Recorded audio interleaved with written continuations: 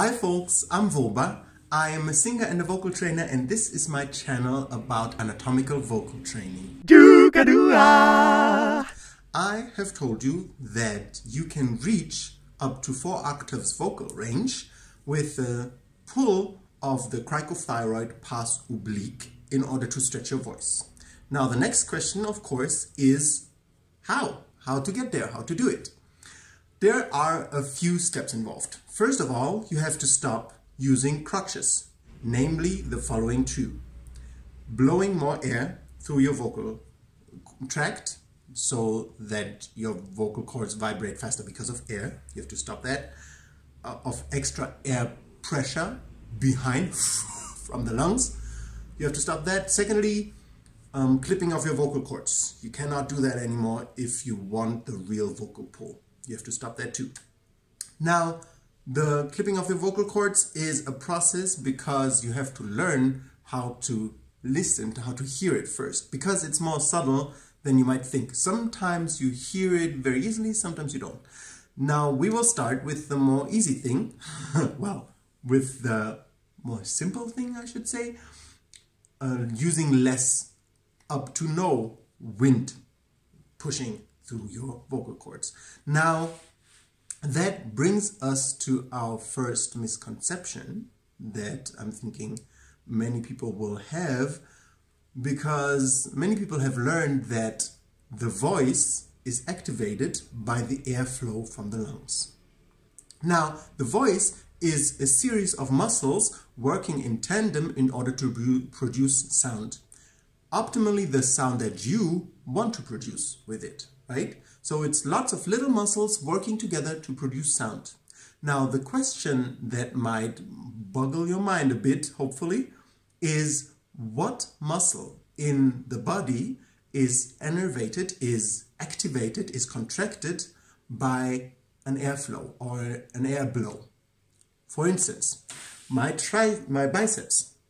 If I blow enough air on my biceps, will it contract? Maybe I'm not strong enough. My triceps, will my triceps contract if I blow enough air? Probably not.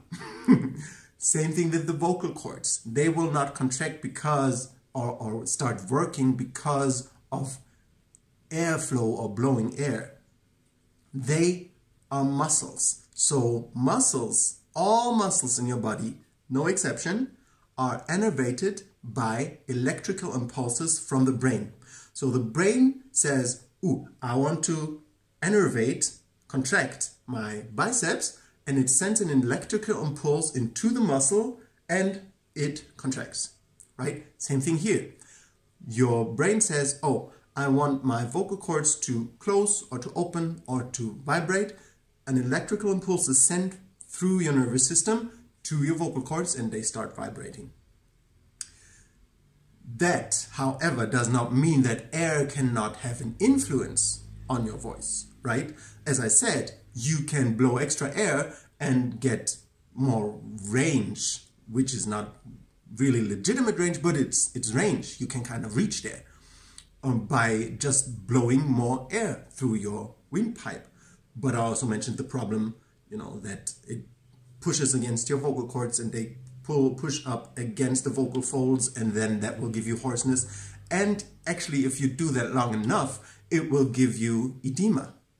And if you keep doing it, it might even give you nodules, which we don't have no time for that. you know, we don't want nodules, we don't want edema, we don't want these problems. So we want the real vocal pull. Now, the information that all muscles, including the vocal cords, are innervated by electrical impulses from the brain going through your nervous system, through your nerves, to the muscle and then activating it through an electrical impulse, not a wind impulse, is very important information that might change your idea of thinking about how to use your voice and what your voice is actually capable of. I have to start first with these misconceptions um, to, to straighten out the ideas that we have about our anatomy in order for you to understand it first. Because whatever you understand you have an easier time to set in motion, right? To change something that you don't understand is really difficult. But if you have a more precise understanding of what is actually physically happening and what could be physically happening, then you know much clearer what you want to work towards. So that's why I'm not giving you exercises right away. Again, this is not a course for you to learn it. This is a course for you to understand. I will give you the exercise, but you will still need people to look at it, you know, every once in a while. So as I said in the beginning, in order to really use the cricothyroid pars oblique to stretch your vocal cords, you need to get rid of that extra wind pressure. That is done by uh, losing up your belly. Now, the video is getting a little long, so I will tell you why the loose belly is going to help you stop having this extra wind pressure uh, through your throat in the next video. If you like this video, please like the video, subscribe to my channel if you want more of these contents, and have a beautiful, beautiful, beautiful, beautiful, wind-free day.